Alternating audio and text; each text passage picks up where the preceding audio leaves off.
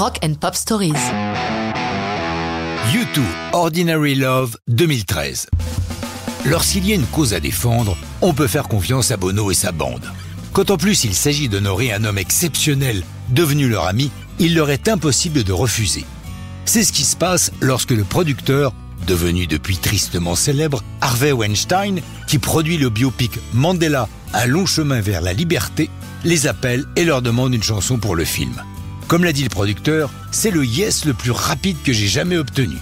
Pourtant, le groupe est en plein boulot au studio Electric Lady de New York, avec Danger Mouse, le producteur des Black Keys. Ils travaillent à leur 13e album, Songs of Innocence.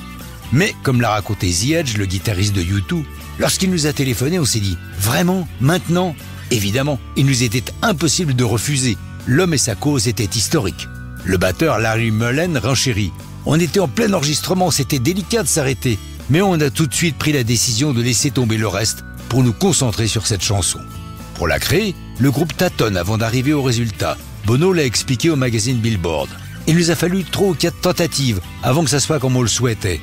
Le texte a évolué lorsque j'ai lu les lettres d'amour que Nelson Mandela envoyait depuis sa prison à sa femme Winnie.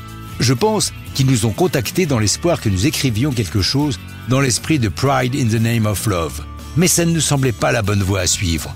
Le seul point où Mandela s'est senti affaibli par ses ennemis, c'était dans son mariage. Et de plus, dans le film, l'histoire de leur amour tient une grande place. Comme l'ensemble du groupe, Danger Mouse, de son vrai nom Brian Burton, le producteur de leur album, participe activement à la composition de Ordinary Love.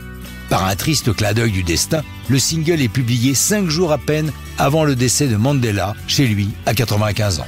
Le 17 février 2014, pour la première de l'émission The Tonight Show starring Jimmy Fallon, U2, accompagné par The Roots, le groupe maison, donne une interprétation plus qu'émouvante de la chanson.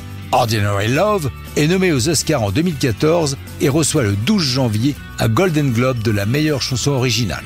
Dans ses remerciements, Bono explique comment leur relation avec Mandela les a changés et déclare C'est très très personnel. Cet homme a bouleversé nos vies. Il a refusé la haine en pensant que l'amour ferait mieux le boulot. Nous avons écrit une chanson d'amour parce que c'est ce qui est remarquable dans le film. L'album sur lequel travaillait U2 sortira le 9 septembre 2014, mais ça, c'est une autre histoire de rock'n'roll.